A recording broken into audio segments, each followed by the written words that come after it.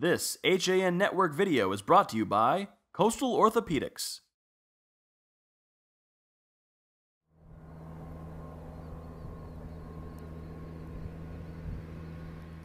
The times have yet to switch, but at Monroe's Great Hollow Lake, the seasons, they are a changing. And this Sandman's visit means it's time to wake from your winter slumber. Just ask Monroe Parks and Recreation's Jack Eck.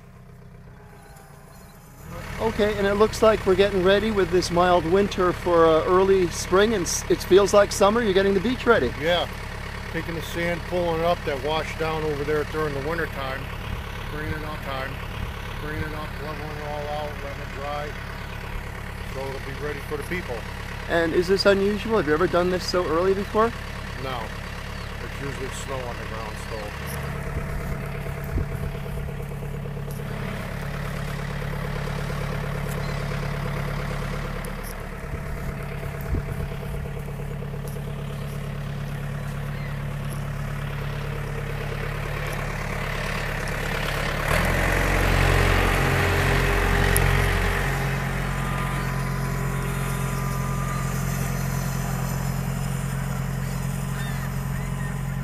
It'll dry the sand out nice.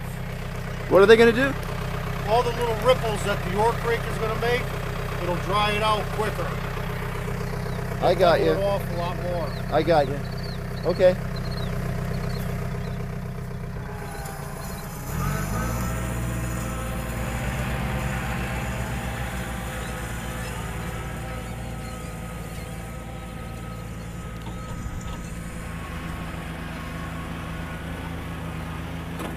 Okay, That's it. Jack. Yep. Okay, is it fun to do this? Yeah, it is. Gets it ready for the people. And it's a nice day. Beautiful day.